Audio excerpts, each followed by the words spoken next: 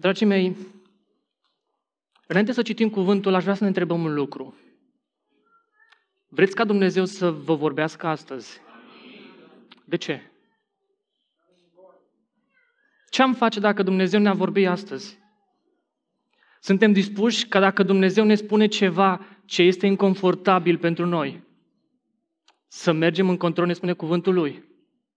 Suntem dispuși dacă Dumnezeu ne spune până acum ai privit în direcția aceasta și pentru că ai privit aici, ai făcut lucrurile într-un fel, acum privește aici.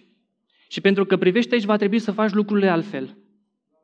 Ești dispus să-ți întorci privirea sau vei fi deranjat că, de faptul că Dumnezeu te scoate din locul tău confortabil ca să te ducă în locul în care vrea să fii, unde nu este confortabil acum. Cu aceste întrebări în minte, haideți să citim împreună de la Matei, capitolul 13, de la versetul 3 la versetul 9. El a vorbit despre multe lucruri în pilde și le-a zis, Iată, semănătorul a ieșit să semene. Pe când semăna el, o parte din sămânță a căzut lângă drum și au venit păsările și au mâncat-o. O altă parte a căzut în locuri stâncoase unde nu avea mult, pământ mult, a răsărit îndată, pentru că n-a găsit, un pământ, pentru că n-a găsit pământ adânc. Dar când a răsărit soarele, s-a pălit și pentru că n-avea rădăcini, s-a uscat. O altă parte a căzut între spini, spinii au crescut și au înnecat-o. O altă parte a căzut în pământ bun și a dat rod, un grăunte a dat 100, altul 60, altul 30. Cine are urechi de auzit, să audă. Vă mărturisesc faptul că pentru mine a fost o luptă foarte mare să alcătuiesc astăzi acest mesaj. De luni de zile anumite lucruri se frământă în viața mea și în mintea mea și vreau să împărtășesc cu voi uh, o parte din lupta pe care o duc. În urmă cu câțiva ani de zile am început să fiu mai atent la lucrarea Duhului Sfânt. Și atunci când Dumnezeu vorbea, când era o lucrare, o descoperire, încercam să înțeleg cum gândește Dumnezeu și de ce ne vorbește în modul în care ne vorbește Dumnezeu. Și de atâtea ori am fost cu multe întrebări în viața mea de genul, Doamne, de ce atunci când ne vorbești, ne vorbești prin vedenii și ne spui de multe ori că uh, s-a arătat un nor care s-a risipit sau o, o piatră care s-a ridicat, o piedică, o săgeată și în mintea mea întrebările acestea, Doamne, de ce ne vorbești într-un mod în care de multe ori este greu să înțelegem? Și mi-aduc aminte că eram într-o biserică la o seară de rugăciune, o seară deosebită de altfel, unde erau uh, oameni al lui Dumnezeu și una dintre lucrări pentru biserică era așa. Spunea Dumnezeu, în locul acesta am pus o scăldătoare. Și în seara aceasta, cine va intra în scăldătoare va fi transformat, va fi schimbat, va fi renoit, va primi putere ca să biruiască, să mai, meargă mai departe. Și eram în mintea mea și mă întrebam, Doamne, cum arată scăldătoarea? Unde este ca să știu să ajung la ea? Cum știu că am ajuns în scăldătoare? Cum știu că sunt aproape? Cum știu că merg în direcția contrarie? Doamne, ar fi atât de simplu dacă ai spune, cine vrea să fie transformat, cine vrea să fie atins, să vină undeva aici în partea stângă, să se așeze aici și prezența al Domnului va veni peste el. Și în mintea mea aceste întrebări m-au frământat și m-au frământat și într-o zi stăteam și îl întrebam din nou pe Dumnezeu, Doamne, de ce lucrezi în felul acesta?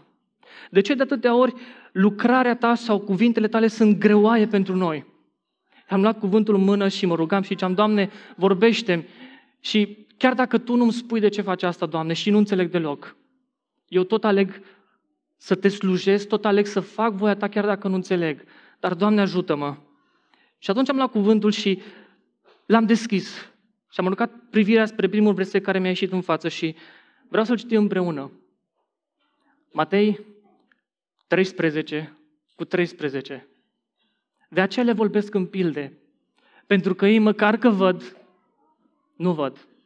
Măcar că aud, nu aud. Nici nu înțeleg. Și în acel moment am luat Scriptura și am pus-o pe pat, înțelegând că Dumnezeul infinit s-a oprit în timp, s-a oprit în spațiu, ca să coboare în acel loc, într-o cămăruță așa de mică și să-mi răspundă la întrebarea mea într-un mod atât de precis. Le vorbesc în felul acesta. Pentru că ei măcar că văd, nu văd, Măcar că aud, nu aud, nici nu înțeleg. Și cuvântul continuă și spune, cu privire la ei se împlinește prorocia lui Isaia care zice, veți auzi cu urechile voastre și nu veți înțelege. Veți privi cu ochii voștri și nu veți vedea. Dar de ce, Doamne? Pentru că inima acestui popor s-a împietrit. Au ajuns tari la urechi și au închis ochii ca nu cumva să vadă cu ochii, să audă cu urechile, să înțeleagă cu inima, dar de ce, Doamne, fac toate aceste lucruri? Să se, întoarce, să se întoarcă la Dumnezeu și să-i vindec.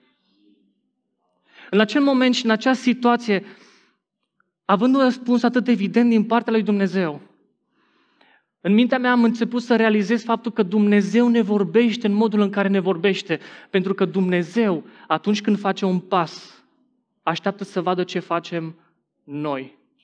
Și pasul care l-a făcut Dumnezeu, întotdeauna va fi condiționat de pasul pe care îl vom face noi.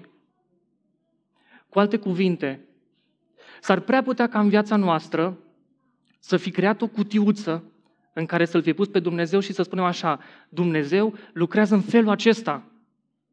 Dumnezeu viața mea vrea să o transforme până aici. Și nu suntem dispuși să mergem dincolo de cutiuța noastră.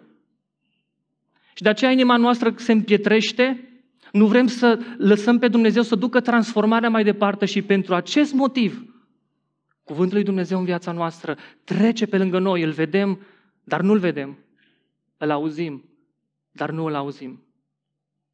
Aceasta este frământarea din viața mea. Și cred că Dumnezeu încearcă să ne învețe câteva lucruri pe care în viața noastră probabil le-am lăsat să treacă cu vederea. De aceea am început să pun toate aceste lucruri împreună, legând o serie de mesaje pe care am intitulat-o Lucrarea tainică a Duhului Sfânt în viața noastră, în viața bisericii. Mi-am dat seama cu ceva timp în urmă faptul că atunci când scopul nostru este să creștem, scopul nostru este să ne maturizăm, este nevoie să începem dintr-un punct A și să pornim spre un punct B. De multe ori și am moștenit modul acesta de lucru, cutiuța despre care vă vorbeam. Ne-am născut cu felul acesta în care de multe ori venim aici și în fiecare duminică ascultăm o predică diferită, un mesaj diferit, care de multe ori nu are nicio treabă sau nicio legătură cu mesajul de cealaltă dată. Și tot timpul primim atât de multe informații care nu știm să le punem împreună, care în viața noastră nu știm cum să le legăm.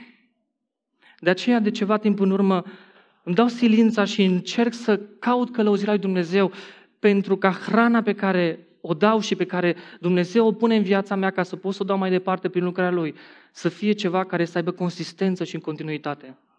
De aceea, pentru această serie de predici, mi-am pus o provocare personală și una pentru dumneavoastră. Și anume, ce ar fi dacă multe lucruri pe care le-am înțeles din Scriptură le-am lăsat să rămână undeva la un mod superficial? Ce ar fi dacă în viața noastră și în slujirea noastră multe lucruri pe care le facem, le facem într-un mod superficial, mediocru? Și pentru că, dacă, pentru că le facem așa, rămâne o trăire de suprafață, niște schimbări de suprafață. Și este nevoie ca în viața noastră să se întâmple un lucru, să începem să intrăm în adâncimea cuvântului și să intrăm în profunzime. De aceea, seria aceasta este vorba despre viața mea și despre viața voastră, despre trăirea noastră de fiecare zi. Și pentru aceasta avem și un cuvânt deosebit în Scriptură. Ioan, capitolul 14, versetul 16, spune așa. Dar mângâietorul, adică Duhul Sfânt pe care îl va trimite Tatăl în numele meu, le spunea Domnul Iisus Hristos, vă va învăța. Vă va învăța nu câteva lucruri, vă va învăța nu doar uneori, ci vă va învăța toate lucrurile și vă va aduce aminte de tot ce v-am spus eu. Să știți că eu cred din toată inima mea că aceste cuvintele Domnului Iisus Hristos sunt valabile și astăzi aici pentru noi. Eu cred că Dumnezeu a lăsat ca Duhul Sfânt în viața noastră să ne învețe lucruri din domenii în care credem că Duhul Sfânt are ce căuta. Cred că Duhul Sfânt dorește în viața noastră să intre în relația de familie, în relațiile noastre între de biserică, de frați, de prieteni, de lucru și absolut în toate domeniile vieții noastre Duhul Sfânt vrea să ne învețe. Dar pentru că ne scapă înțelegerea aceasta, de multe ori suntem superficiali și nu lăsăm ca El să ne învețe. Și apoi spune că El ne va aduce aminte de toate cuvintele care sunt aici în Scriptură, pe care Domnul Iisus le-a rostit și pe care le-a inspirat prin apostol mai departe. Toate aceste cuvinte spune că Duhul Sfânt le va aduce aminte în viața noastră. Când?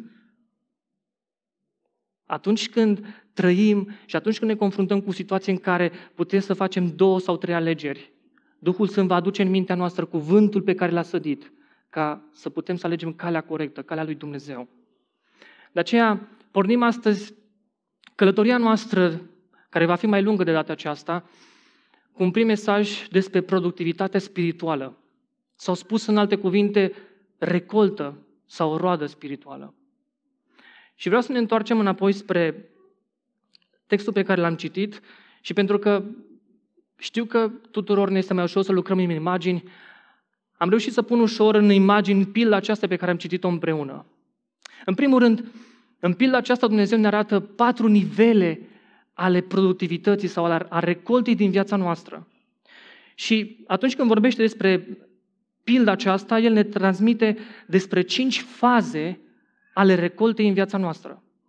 Și în primul rând avem faza sămânței, avem semănătorul, avem semințele, avem semănatul și la sfârșit recolta.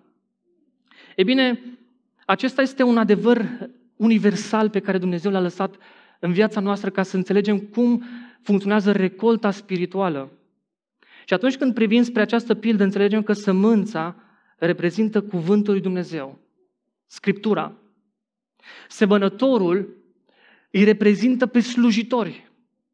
Reprezintă oamenii care vin și ne vorbesc din cuvânt și ne învață și ne îndeamnă și aruncă cuvântul acesta în, uh, în popor. Și apoi, roada reprezintă transformare, reprezintă maturitate și scopul final sunt faptele bune.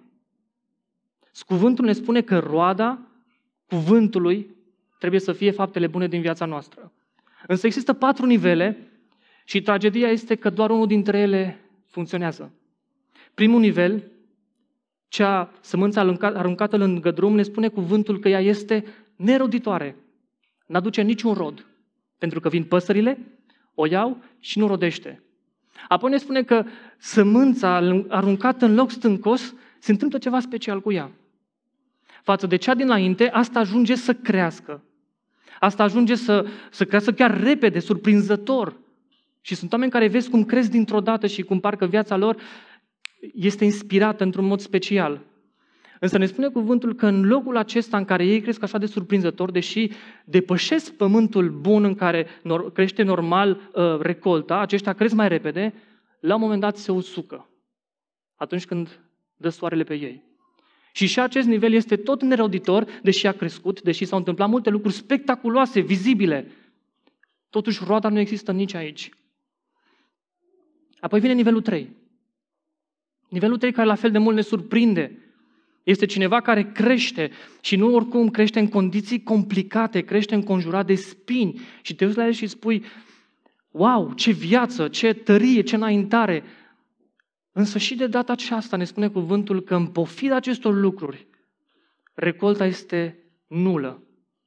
Și doar în al patrulea uh, nivel, în pământul bun, este locul în care sămânța ajunge la maturitate, ajunge la transformare și rodește în trei categorii. 30, 60 și 100. Cum ar veni bine, mai bine și foarte bine. Problema, dragii mei, este că de multe ori ne scapă un, o, esența din toată această pildă. Ne scapă faptul că motivul pentru care semănătorul iese să semene pe câmp este pentru că vrea vrea roadă. Motivul pentru care iese din casă și ia cu el sacul și începe să arunce este pentru că vrea roadă. Problema este că de multe ori în viața noastră, ca și biserici, ca și biserică, rămânem blocați în primele trei etape. Și ăsta este obiectivul nostru final. Suntem așa de preocupați să fie predică, să fie cântare, să fie închinare și ne preocupăm să fie să aibă cine și să fie atât de multe lucruri. Însă întrebarea este, dragii mei, după atâția ani de slujire, de semănare, unde sunt roadele? Și suntem așa de preocupați de slujire și cântăm despre aceste lucruri, ne rugăm despre ele, uh, ne întâlnim ca să discutăm, să facem, să fie slujirea. Însă întrebarea este cât de mult ne preocupăm noi pentru scopul final, care sunt roadele. Îmi vine în minte imaginea aceasta și când mă gândesc la biserica aflată în circunstanțele acestea, o văd ca și cum ar fi o fermă undeva în mijlocul unui câmp. Și dacă te întorci de jur împrejur, este un pământ pregătit ca să se lucreze pe el. Și fermierii se adună de câteva ori pe săptămână și vin în hambar, în fermă. Și se suie fiecare pe tractorașul lui și începe să ambaleze tractorașul și vrum, vrum, două ore acolo și ambalăm și mai tare și ambalăm și mai tare și după două ore de ambalări ne ducem acasă și zicem, wow, ce har a fost, ce am lucrat pentru Domnul. Și apoi venim și miercuri și iar ne ambalăm la rugăciune și trebuie să fie ambalări și mai puternice, rugăciuni mai tari și mai mult și mai multă ambalare. Plecăm acasă și ne întoarcem duminică și începem iară să ne ambalăm tractorașele noastre și încă două ore și încă trei ore și duminică după masa și apoi ne întoarcem acasă și zicem ah, în via Domnului, ce greu este, dar am luptat, am lucrat pentru Domnul. Când de fapt scopul tractorașelor este să le scoatem din hambar și să lucrăm cu ele împrejur, de jur împrejur, tot terenul și apoi să venim în hambar când ne adunăm aici și să zicem, este istovitor, trebuie să le reparăm. Uite, aici n-a funcționat, am încercat să punem recoltă, nu merge, haide încă o dată. Dar de atâtea ori ne ambalăm și credem că noi aducem roadă, când de fapt scopul nostru nu este altceva decât să facem multă gălăgie, să ne preocupăm de semănători, să ne preocupăm de semânță, însă nu și de roadă. Știu că deranjează lucrul acesta, însă este modul în care am fost pregătit sau modul, în care am, modul pe care l-am moștenit să vedem lucrarea lui Dumnezeu. Eu de când m-am născut, m-am născut în biserică și de când, uh, de când m-am născut eu și de când am înțeles biserica, numai asta se face. Pentru mine asta este normalitatea, să vii, să te rogi miercurea, să te rogi vinerea, să vii duminică și după ce te-ai ambalat puțin cu tractorașul, te întorci acasă la ale tale. Și pentru mine, mult timp, asta a fost ceea ce vrea Dumnezeu de la mine. Și într-o zi m-am trezit și mi-am spus, stai puțin. Cei care au fost înaintea mea mi-au transmis o gândire greșită, superficială despre Dumnezeu și despre așteptările Lui și despre lucrarea Lui. Pentru că am ajuns și eu să fiu preocupat de tractorașul meu care se ambalează în hambar, în loc să înțeleg că trebuie să-l scot și să înțeleg cum trebuie să-l pun în lucrare. Să înțeleg cum trebuie să iau terenul, cum este terenul, unde trebuie să lucrez cu el.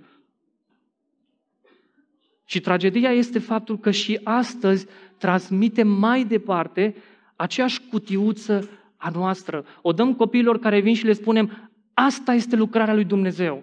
Dacă faci asta, dacă vii și ți ambalezi tractorașul, Dumnezeu e fericit cu tine. Stai mai puțin timp pe calculator, Vedem progrese. Tu te-ai ambalat la tractoraș uh, duminică, ai făcut un pas înainte. Și perpetuăm gândirea aceasta limitativă în care îl punem pe Dumnezeu în cutiuța noastră. Și nu vrem ca Dumnezeu să ne vindece gândirea și viața și ne împietrim inima atunci când Dumnezeu ne spune că trebuie de fapt să facem lucrurile altfel. De aceea auzim, dar nu auzim. Vedem, dar nu vedem. Pentru că trăim superficial și pentru că lucrarea o înțelegem într-un mod superficial. Aș vrea, pentru timpul care ne mai rămâne mai departe, aș vrea să facem patru observații din Scriptură despre sămânță. Și dacă vom fi atenți, fiecare observație va fi pentru noi un beculeț care se va aprinde. Și ne vom da seama că de multe ori am citit cuvântul acesta, l-am văzut, dar nu l-am văzut, l-am auzit, dar nu l-am auzit. Și mai întâi vom citi versetele și apoi observația. În primul rând, haideți să citim în Efeseni, capitolul 2, versetul 8 și 10. și aș vrea să deschideți cu mine. Aș vrea să subliniem că și prin har ați fost mântuiți, prin credință, și aceasta nu vine de la voi, ci este darul lui Dumnezeu, nu prin fapte, ca să nu se laude nimeni. Căci noi suntem, și citiți bine, noi suntem lucrarea Lui. Noi am fost zidiți în Hristos Iisus pentru ce? Pentru faptele bune pe care le-a pregătit Dumnezeu mai înainte ca să umblăm în ele. Adică, vreți să spuneți că noi am fost mântuiți prin Hristos pentru ceva mai mult decât a merge în cer? Adică, vreți să spuneți că am fost născut pentru ceva mai mult decât viața eternă pe care o voi moșteni într-o zi? Și cuvântul ne spune că da. Și prima observație care o facem despre sămânță este faptul că mântuirea începe viața noastră spirituală, dar eu și cu tine am fost creați pentru faptele bune pe care Dumnezeu le-a pregătit aici pe pământ, să le rodim și să umblăm în ele. Și problema noastră este că de multe ori ne focalizăm doar pe partea mântuirii, cum spuneam mai devreme, să ducem până la capăt mântuirea noastră. Și ne scapă partea cu roadele, cu faptele, cu roada Duhului Sfânt despre care s-a vorbit azi dimineață. Mergem mai departe. 2 Timotei, capitolul 3, versetul 16 și 17, ne spune așa. Toată Scriptura este insuflată de Dumnezeu și de folos ca să învețe, să mustre, să îndrepte și să dea înțelepciune, neprihănire. Dar de ce Scriptura face toate aceste lucruri? De ce Dumnezeu vrea să ne învețe? De ce Dumnezeu vrea să ne mustre, să ne îndrepte și să ne dea înțelepciune? Ca să ne adunăm aici duminica și să discutăm despre aceste lucruri doar? Să facem întâlniri și să uh, cântăm despre aceste lucruri și doar să vorbim? Și dați ce spune? Toate acestea Dumnezeu le face prin cuvântul lui, prin Scriptură, pentru ca omul lui Dumnezeu, și asta trebuie subliniată, să fie desăvârșit și cu totul destoinic pentru orice lucrare bună. Cu alte cuvinte, Dumnezeu a lăsat Scriptura pentru ca tu să fii perfect echipat, să fii perfect pregătit, nu ca să dai răspunsuri bune, ci ca să aduci o lucrare bună. Cu alte cuvinte, dragul meu, dacă acasă tu ai Scriptura și o citești, dar după ce citești Scriptura aceasta, în sufletul tău nu se naște o preocupare pentru trăire, pentru transformare, pentru schimbări, pentru rodire, pentru a duce mai departe, dăm voie să spun că ai ratat scopul lui Dumnezeu pentru cuvântul Lui. Mergem mai departe.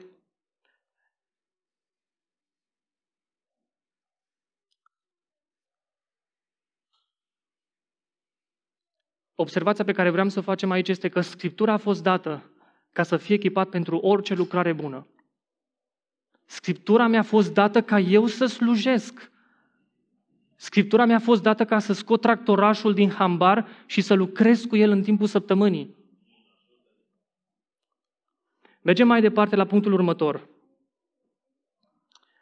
Efeseni 4, capitolul 4, versetul 11 și 12. Și El a dat. Ceea ce înseamnă că acesta este un dar din partea lui Dumnezeu. Dumnezeu ne-a dat un dar și acest dar sunt apostolii, prorocii, evangeliștii, păstorii și învățătorii. Și spune că Dumnezeu ne-a făcut acest dar cu un scop, nu doar să-l avem aici, ci scopul acestui dar este pentru, ca desă, pentru desăvârșirea sfinților. Dar pentru ce trebuie sfinții desăvârșiți? Doar ca să fie sfinți? Doar ca să fie neprihăniți? Nu, ci sfințirea sfinților are ca și scop lucrarea de slujire pentru zidirea trupului lui Hristos. Cu alte cuvinte, vrea să spună versetul acesta că eficiența slujitorilor poate fi măsurată? Cu alte cuvinte, acest verset ne poate spune că putem să vedem cât de bine lucrează slujitorii după roadele care se creează și se produc în sfinți? E bine, Scriptura asta ne spune că slujitorii, dacă își vor face o treabă bună, sfinții vor fi desăvârșiți și vor începe și ei să slujească. Dar dacă slujitorii nu își fac o treabă bună, sfinții nu vor fi desăvârșiți, ci vor veni să ambaleze tractorașele, în loc să iasă cu ele să lucreze. Cu alte cuvinte, dragii mei, dumneavoastră ca și biserică, aveți responsabilitatea de a cere roadă în viața voastră din partea noastră, din partea mea, din partea celor care ne ridicăm aici. Cu alte cuvinte, aveți dreptul să ne spuneți că ar trebui să ne facem treaba mai bine? Pentru că în viața voastră nu se vede desăvârșirea aceasta și chemarea și impulsul spre slujire? E bine, cuvântul pare că asta vrea să ne spună. Mă uitam într-o zi pe site-ul unei biserici foarte renumite din America, pe care nu agrez, și la un moment dat am văzut un anunț al păstorului, uh, este o biserică cu mii de membri, care spune așa. În privința lucrării de evangelizare, voi nu trebuie să faceți absolut nimic. Singurul lucru care trebuie să-l faceți este să vă întâlniți cu colegi, prieteni, oameni pe stradă, să le dați invitație și să vă asigurați că vin la biserică. Din momentul în care au intrat pe ușa bisericii, voi nu mai aveți nicio treabă. De acolo ne ocupăm noi și echipa. Și de acolo noi începem cu un serviciu de închinare care să fie plăcut, să te poarte prin niște stări, apoi venim cu niște mărturii, venim cu o predică motivațională, cu o predică superbă care la sfârșit să te emoționeze, să te motiveze, îi chemăm pe oameni în față, se predau lui Dumnezeu și gata. Am împlinit lucrarea lui Dumnezeu de a duce Evanghelia mai departe și de a face ucenici. Însă întrebarea mea este, pentru că asta de multe ori este și gândirea noastră, ceea ce când ne gândim la o strategie de evangelizare începem, ce? Tu să te asiguri că vin oameni la biserică, în rest chemăm evanghelistul, vine și ne predică și după ce ne predică, dacă cineva se predă, slavă Domnului, dacă nu, mai încercăm și data viitoare. Pentru că în mintea noastră am început să ne setăm o cutiuță, un mod de lucru în care am zis așa, noi nu mai trebuie să creștem ca și biserică, dumneavoastră din bancă. Nu mai trebuie să creșteți pentru că are cine să le vorbească, are cine să le facă evangelizare. Voi nu mai trebuie să fiți slujitori. Voi nu mai trebuie să slujiți. Voi doar trebuie să chemați oamenii, pentru că ne ocupăm noi de ei. Voi puteți să rămâneți mediocri, puteți să rămâneți fără roadă, puteți să fiți așa cum sunteți. Chemați oamenii aici și ne ocupăm noi de ei, pentru că ne-am setat o astfel de gândire superficială a lucrării lui Dumnezeu și mediocră, în care dacă ar fi să luăm pe cineva să-i spunem, dragul meu, tu ești capabil acum să spui unui om planul de mântuire, să iei versetele și să îl conduci prin Scriptură spre mesajul lui Dumnezeu de chemare la pocăință. O faci?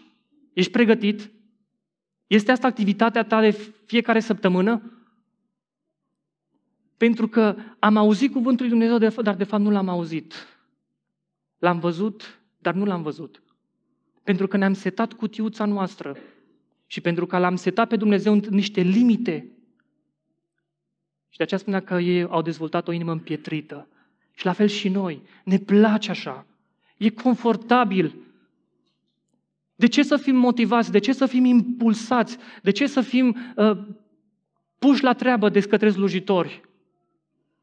Când e așa de confortabil. Mi-aduc aminte că vorbeam cu un prieten și îmi zicea despre biserica lor, o biserică frumoasă, o biserică care face lucruri frumoase, deosebite, însă îmi spunea el, mă, avem o problemă totuși. La noi în biserică avem slujitori, avem oameni care pot să motiveze cuvântul uh, de predică, pot să aducă un mesaj consistent, însă păstorul, pentru că este constrâns de anumite familii și anumite situații, de multe ori trebuie să-i pună și pe alții la slujire care nu-i chemarea lor sau care nu sunt gata pentru nivelul ăsta de slujire atunci. Dar pentru că trebuie să pice bine și cu ăștia și cu ceilalți, trebuie să-i pună și pe frații ăștia la slujire și de multe ori programele se simte când sunt aceștia. Pentru că pur și simplu te trec prin versete, dintr-o parte în alta, citește de aici, de acolo, de dincolo și la sfârșit ne rugăm pentru cauze. Dar biserica, atâta timp cât ne-am rugat tare, cât am cântat, nu e deranjată pentru că, că nu sunt roade. Important este să ne rugăm și să cântăm. Faptul că trebuie să punem pe unul și pe altul pentru că se supără el, se supără familia lui, denotă faptul că în gândirea noastră, mai important decât roadele, este să nu se supere cineva. Ceea ce denotă o altă imaturitate din partea acestei persoane. Și n-ar trebui să fie totuși la slujire dacă are această imaturitate. Și vedeți cum lucrurile se învârt într-un cerc vicios.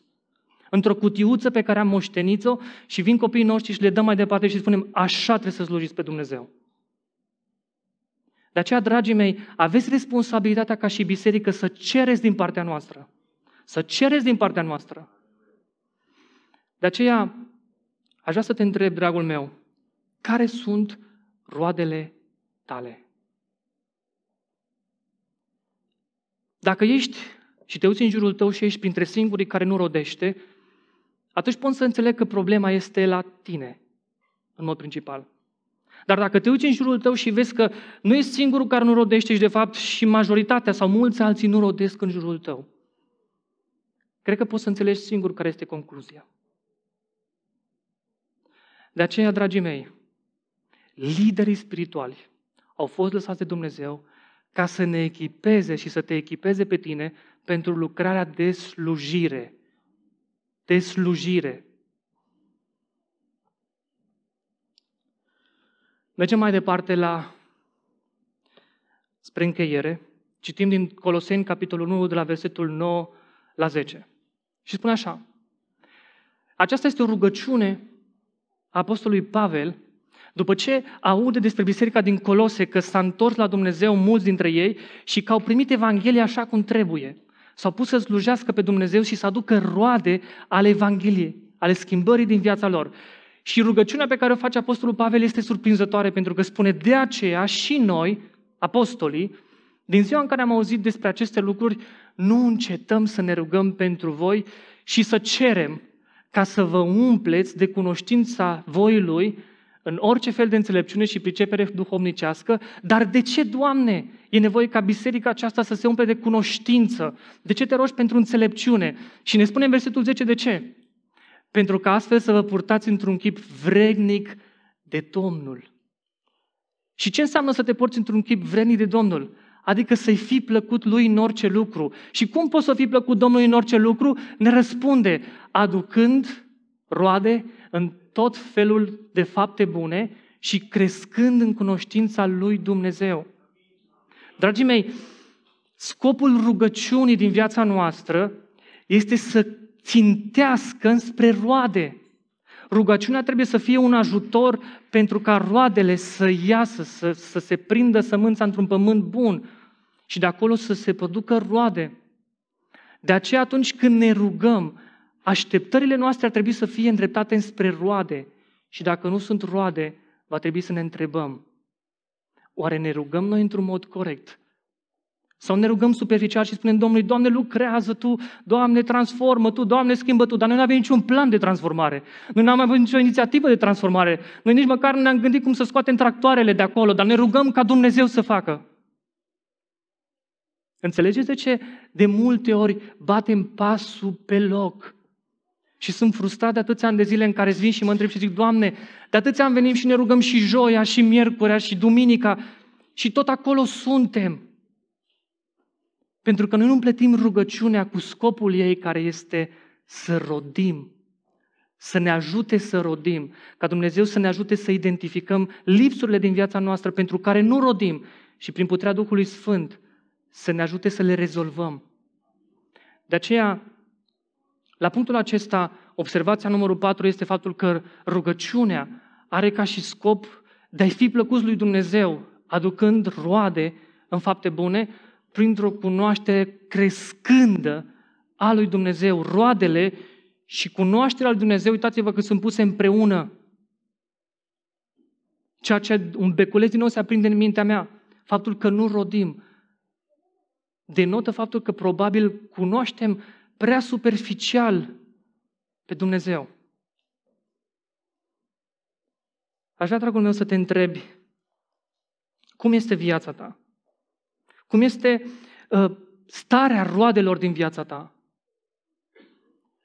Poți să ai o evidență săptămânală în care să zici, Doamne, săptămâna aceasta m-am rugat în privința acestor aspecte din viața mea și am rodit sau poți să zici, Doamne, m-am luptat, n-am reușit, dar săptămâna viitoare ajută-mă, Doamne, ca să identific cum ar trebui să fac acest lucru ca să rodesc în viața mea, în familia mea. Doamne, vin și mă rog de atâția ani de zile la biserică. Doamne, unde sunt roadele rugăciunii mele? Doamne, de ce nu se întâmplă mai nimic? Și vreau să înțelegeți un lucru, nu discreditez puterea rugăciunii. nu discreditez puterea rugăciunii în comunitate. Nu asta vreau să spun. Ci ce vreau să spun este faptul că dacă rămânem la un nivel superficial, vor trece încă 10 ani de acum încolo și tot aici vom fi, tot așa vom fi. Dar problema va fi că peste 10 ani de zile copiii care astăzi sunt în bancă vor lua cutiuța noastră și o duce mai departe așa cum este. De aceea este important, dragii mei, să începem să ieșim din superficialitatea aceasta și să ne întrebăm cu adevărat ce vrea Dumnezeu de la noi. Am ajuns la final. Lucrarea tainică a Duhului Sfânt în viața ta și în viața mea. Este un verset care m-a frământat zilele acestea. Pentru că în loc de locul acolo unde apare Ierusalim, am pus numele meu. Și sunt cuvintele care Domnul Iisus Hristos le-a spus cu lacrimi, cu durere. Ierusalime, Ierusalime. De câte ori am vrut să strâng pe copiii tăi cum își strânge găina pui sub aripi. Și ar fi putut să-i strâng. Ar fi putut să fie așa de deosebită cetatea aceasta, poporul acesta. Ai fi putut să ai atât de multe experiențe cu mine. Dar n-ai vrut. M-am pus în imaginea aceasta și m-am gândit că într-o zi voi sta înaintea lui Dumnezeu. Și va veni Dumnezeu și îmi va spune, Alex, de atâtea ori am vrut în viața ta să transform, să te ridic, să te fac roditor și productiv și ți-am adus atâtea circunstanțe și atâtea lucruri în viața ta și am vrut, ăsta e planul meu pentru tine, uite-l aici. Am vrut să o fac. Dar tu, Alex, ai auzit, dar n-ai auzit. Ai văzut, dar nu ai văzut. Pentru că ai rămas blocat în cutiuța ta, confortabilă, și n-ai vrut. De aceea, dragul meu, vreau să spun că există speranță în cuvântul lui Dumnezeu. Atunci când privesc în acest cuvânt, văd biruință personală, spirituală, văd oameni care Dumnezeu i-a ridicat, văd familii învingătoare, privesc pe acest cuvânt și văd relații cum ar trebui să funcționeze. Și mă uit în viața mea și mă întreb, Doamne, de ce încă nu suntem acolo, după atâția ani de zile în care parcă facem toate lucrurile care noi știm că trebuie să le facem, dragii mei? Suntem o biserică care credem în puterea Duhului Sfânt. Însă și aici, se spunea de dimineață, de multe ori gândim așa de superficial. Ne dorim ca cineva să fie botezat cu Duhul Sfânt, își dorește să fie botezat cu Duhul Sfânt, dar uitați contradicția. Peste tot în Scriptură rolul și scopul botezului cu Duhul Sfânt este echiparea pentru slujire. Și noi ne dorim botezul cu Duhul Sfânt, dar nu ne dorim slujirea. Și suntem așa de bucuroși pentru cineva care a primit botezul cu Duhul Sfânt. Și faptul că nu slujește și nu rodește, n-ar trebui să plângem? Pentru că de multe ori locul în care pentru noi este finalul, pentru Dumnezeu ar trebui să fie doar începutul. Și în mintea noastră, în cutiuța noastră, ne bucurăm pentru un, pentru, uh, pentru un final care ar trebui să fie un început. Și nu rodim, pentru că n-am înțeles. Și nu vă pun să ridicați mâna, însă întrebați-vă cei care ați primit botezul cu Duhul Sfânt. După, cât de mult a crescut în viața voastră slujirea, roadele, dorința, implicarea pentru Dumnezeu. Sau a spus acolo o medalie în plus și v-ați văzut de viață mai departe așa cum era ea. De aceea, dragii mei, lucrarea aceasta a Duhului Sfânt, ne rugăm ca Dumnezeu să ne ajute să o înțelegem în profunzimea ei. Și ceea ce ne propunem este ca în seria aceasta de discuții care le avem împreună, să vedem modul tainic în care Dumnezeu de atâtea ori a încercat să lucreze în familia ta. Pentru a avea o familie binecuvântată, pentru a avea relații puternice, relații profunde, Acolo unde oamenii spun că există diferență între părinți, adolescenți, distanța aceasta în care nu se poate discuta, există un, uh, o prăpastie. Să înțelegem că Duhul Sfânt încearcă să reducă distanța aceasta și să creeze relații puternice. Dar pentru că noi n-am înțeles-o, pentru că ne place superficialul, am trecut de atâtea ori văzând, dar de fapt nevăzând. De aceea, dragii mei, provocarea pentru noi este Ești gata, dragul meu, să accepti acolo unde Dumnezeu spune că trebuie să schimbi gândirea ta? Ești gata să faci schimbările pe care Dumnezeu spune că trebuie să le faci? Sau vrei să rămâi un om împietrit? Un om care va auzi mai departe, dar nu va auzi. Va vedea și nu va vedea. Închei cu cuvintele Domnului Isus Hristos, care spuneau așa. Cine are urechi de auzit, să audă. Amin.